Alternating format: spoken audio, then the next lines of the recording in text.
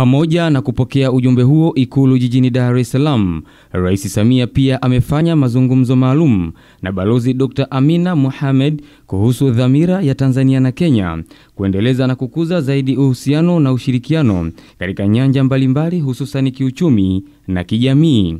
Nimepokea ujumbe maalum kutoka Kenya kiongozwa na Waziri Amina na wametumwa na Mheshimiwa Kenyatta kuleta kwanza salamu za pole baada ya yeye kuondoka kuwa nasi katika shughuli ile ya kumuaga kitaifa mpendwa wetu.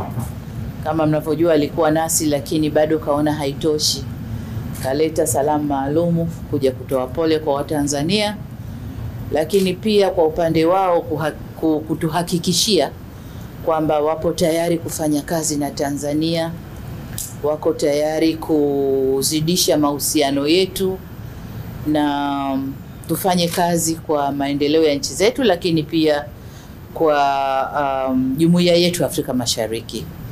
Sasa ndani yake hapo kuna mambo mengi ambayo tutayazungumza um, kidiplomasia kupitia njia za diplomasia ili kuimarisha uhusiano wetu. Kwa hiyo ujumbe uliokuja ni kuja kuhakikisha kwamba Kenya wapo tayari kuimarisha uhusiano wetu na wapo tayari kufanya kazi na sisi. Akiongea mara baada ya kufanya mazungumzo maalum na Rais Samia, Balozi Dr. Amina Mohamed amesema Rais Uhuru Kenyatta amemwalika Rais Samia kufanya ziara nchini Kenya ili kukuza zaidi uhusiano na ushirikiano.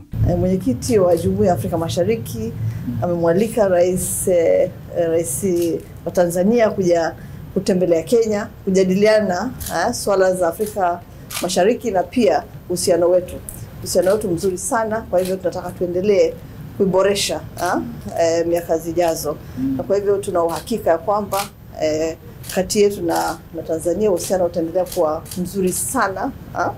Eh, kwa hivyo tuna, tuna, tuna, tuna look forward eh, kwa uhusiano ambao tuna hakika kwamba itakuwa mzuri sana. Tumeleta commitment yetu kwamba ndugu zetu wa, wa, wa Tanzania wanaweza kudepend kurely eh, juu ya nchi yetu, juu ya watu wetu. Tuko na relations nzuri historically, geographically, ethnically, people to people ha? Kwa hivyo tuna we're looking forward katika mazungumzo hayo, Balozi Dr. Amina Mohamed ameongozana na balozi wa Kenya hapa nchini Dan Kazungu.